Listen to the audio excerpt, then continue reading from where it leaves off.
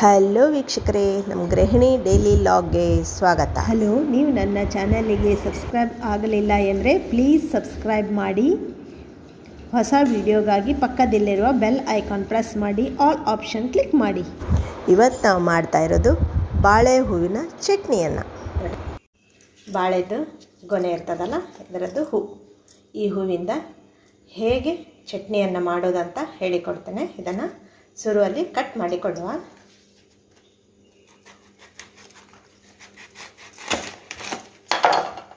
ಇದನ್ನು ತೆಗಿತೇನೆ.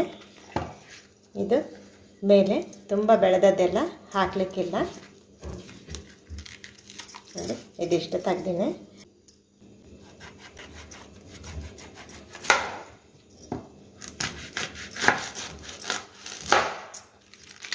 ಇದು ಆರೋಗ್ಯಕ್ಕೆ ತುಂಬ ಒಳ್ಳೆಯದು ಸಿಗುವುದಿಲ್ಲ ಎಲ್ಲರಿಗೆ ಸಹ.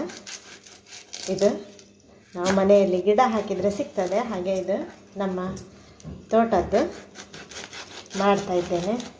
ತುಂಬ ತುಂಬ ರುಚಿ ಸಹ ಆಗ್ತದೆ ಮತ್ತು ಹೆಲ್ತಿಗೆ ತುಂಬ ಒಳ್ಳೆಯದು ಇದು. ಮಕ್ಕಳಿಗೆ ಸಹ, ದೊಡ್ಡವರಿಗೆ ದೊಡ್ಡವರಿಗೆ ಸ್ಟೋನ್ ಅದೆಲ್ಲ ಆದರೆ ಇದು ಒಳ್ಳೆಯದು ಯಾವಾಗಲೂ ಬಾಳೆ, ಬಾಳೆದು ಪದಾರ್ಥ ಮಾಡಿ ತಿಂತಾ ಇದ್ದರೆ ಒಳ್ಳೆಯದು ಎಸಿಡಿಟಿ ಪ್ರಾಬ್ಲಮ್ ಇರೋರಿಗೆ ಸಹ ಇದರ ಚಟ್ನಿಯನ್ನು ಮಾಡಿ ತಿಂತಾ ಇದ್ದರೆ ಆ್ಯಸಿಡಿಟಿ ಸ್ವಲ್ಪ ಕಡಿಮೆ ಆಗ್ತದೆ, ಮತ್ತು ಜೀರ್ಣಶಕ್ತಿ ಜೀರ್ಣಕ್ರಿಯೆ ಸಹ ಒಳ್ಳೆಯದಾಗ್ತದೆ ಇದರಲ್ಲಿ. ಪಾತ್ರೆಗೆ ಹಾಕಿದ್ದೇನೆ ಇದನ್ನು ಸ್ವಲ್ಪ ಒಂದೆರಡು ಸರಿ ವಾಶ್ ಮಾಡಿ ತರ್ತೇನೆ. ಎರಡು ಸರಿ ವಾಶ್ ಮಾಡಿ ತಂದಿದ್ದೇನೆ ಬಾಳೆ ಹೂವನ್ನು ಇದಕ್ಕೆ ಸ್ವಲ್ಪ ಉಪ್ಪು ಹಾಕುವ ಹಾಗೂ ಸ್ವಲ್ಪ ಹುಳಿ ಹಾಕಿ ಬೇಯಲಿಕ್ಕೆ ಇಡುವ. ನೀರು ತುಂಬ ಹಾಕೋದು ಬೇಡ. ನೋಡಿ, ಸ್ವಲ್ಪ ಉಪ್ಪು ಹಾಕ್ತಾ ಇದ್ದೇನೆ. ಹುಳಿ, ಸ್ವಲ್ಪ ಹುಳಿಯನ್ನು ಹಾಕಿ, ಬೀಜ ಇಲ್ಲ ಇದು. ಇದರಲ್ಲಿ ಹಾಕ್ತೇನೆ. ಈಗ ಇದನ್ನು ಉಪ್ಪು ಮತ್ತು ಹುಳಿಯನ್ನು ಹಾಕಿದ್ದೇನೆ. ಬೇಯಲಿಕ್ಕೆ ಇಡ್ತೇನೆ ಸ್ವಲ್ಪ ಹೊತ್ತು.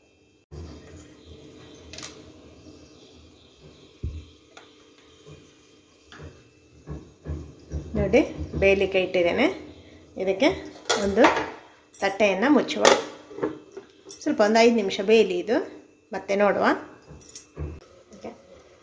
ಇದಕ್ಕೆ ಬೇಕಾಗಿರುವಂತಹ ಇಂಗ್ರೀಡಿಯೆಂಟ್ಸ್ ಒಂದು ಕಪ್ ತೆಂಗಿನ ತುರಿ, ಸ್ವಲ್ಪ ಬೆಲ್ಲ, ಒಂದು ಟೀ ಸ್ಪೂನ್ ಉದ್ದಿನಬೇಳೆ, ಸ್ವಲ್ಪ ಕರಿಬೇವು ಫ್ರೆಶ್ ಆಗಿದೆ. ಬೇವನ್ನು ಎಷ್ಟು ತಿಂದರೆ ಸಹ ಒಳ್ಳೆಯದು ಚಟ್ನಿಗೆ ಎಲ್ಲ ಹಾಕಿ, ಸುಮಾರಾಗಿ ಹಾಕಿ ತಕೊಳ್ಳಿ. ಮತ್ತು ಇದು ಒಂದು ಎಂಟರಿಂದ ಹತ್ತು ಒಣಮೆಣಸು ಇದಿಷ್ಟನ್ನು ಫ್ರೈ ಮಾಡಿ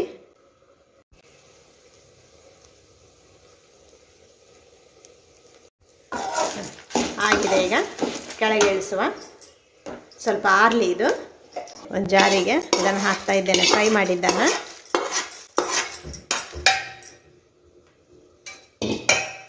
ಈಗ ತೆಂಗಿನ ತುರಿಯನ್ನು ಹಾಕ್ತಾ ಇದ್ದೇನೆ. ಎಲ್ಲವನ್ನು ಹಾಕ್ತಾ ಇದ್ದೇನೆ. ಒಂದು ಕರಿಬೇವನ್ನು ಹಸಿಯಾಗಿ ಹಾಕ್ತಾ ಇದ್ದೇನೆ. ಓಕೆ ಇನ್ನು ಸ್ವಲ್ಪ ಉಪ್ಪನ್ನು ಸೇರಿಸ್ತಾ ಇದ್ದೇನೆ. ಸ್ವಲ್ಪ ಹಾಕಿ, ಆಗ ಹಾಕಿದ್ದೇನೆ. ನೋಡಿ. ನೋಡಿ, ಆಗಿದೆ ಇದು. ಸ್ವಲ್ಪ ನೀರು ಉಂಟು ಇದರಲ್ಲಿ. ಅದನ್ನೇ ಹಾಕಿ ಇದಕ್ಕೆ ಕಡಿಯುವ ನೀರಿದ್ದರೆ ನೋಡಿ, ಇದಿಷ್ಟನ್ನೇ ರುಬ್ಬಿಕೊಳ್ಳುವ. ಇದರಲ್ಲಿ ನೀರು ಬಂದಿದೆ. ಅದನ್ನು ಸ್ವಲ್ಪ ಹಾಕ್ತಾ ಇದ್ದೇನೆ ಇದಕ್ಕೆ. ಇದಿಷ್ಟನ್ನೇ ಹಾಕಿ ಗ್ರೈಂಡ್ ಮಾಡುವ.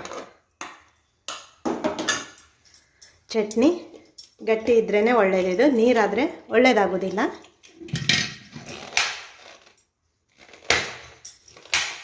ಗ್ರೈಂಡ್ ಮಾಡಿ ತರ್ತೇನೆ. ನೋಡಿ, ಇಷ್ಟು ತರಿಯಾಗಿದೆ.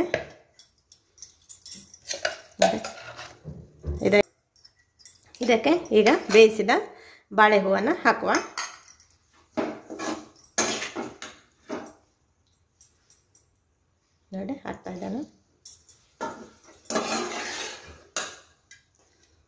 ಇದು ಅದು ಒಟ್ಟಿಗೆ ಇದು ಸಣ್ಣ ಆದರೆ ಸರಿಯಾಗೋದಿಲ್ಲ ಇದು ಬಾಯಿಗೆ ಸ್ವಲ್ಪ ಸ್ವಲ್ಪ ಸಿಗ್ತಾ ಇದ್ದರೆ ಒಳ್ಳೆ ಆಗ್ತದೆ.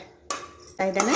ಉಡುಪಿ ಸೈಡಲ್ಲಿ ಗಂಜಿಗೆ ಹೇಳಿ ಮಾಡಿಸಿದ ಜೋಡಿ ಸೈಡಲ್ಲಿ ಹುಡಿ ಹಾಗೆ ಇದಿಷ್ಟು ಗ್ರೈಂಡ್ ಮಾಡಿ ತರ್ತೇನೆ. ಚಟ್ನಿ ರೆಡಿಯಾಗಿದೆ ಈ ಹದದಲ್ಲಿ ಉಂಟು. ನೋಡಿ, ಅದರದ್ದು ನಾರೆಲ್ಲ ಹೇಗುಂಟು? ಇದೆಲ್ಲ ತಿಂದರೆ ಒಳ್ಳೆಯದು ನಮಗೆ ನಾರಿನಾಂಶ ಸಹ ಸಿಗ್ತದೆ. ಬಾಳೆ ಹೂವಿನಲ್ಲಿ ಸಹ ಒಳ್ಳೆ ಸಾರಾಂಶ ಇರ್ತದೆ. ಇದಕ್ಕೆ ಸ್ವಲ್ಪ ಒಗ್ಗರಣೆಯನ್ನು ಕೊಡ್ತೇನೆ. ಎಣ್ಣೆಯನ್ನು ಹಾಕ್ತೇನೆ.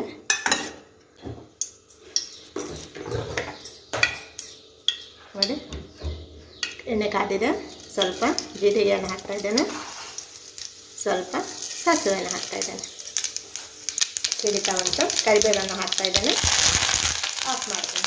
ಒಗ್ಗರಣೆಯನ್ನು ಮೇಲೆ ಹಾಕಿದ್ದೇನೆ. ಈಗ ಬಾಳೆ ಹೂವಿನ ಚಟ್ನಿ ಸವಿಯಲು ಸಿದ್ಧವಾಗಿದೆ. Thank you bye bye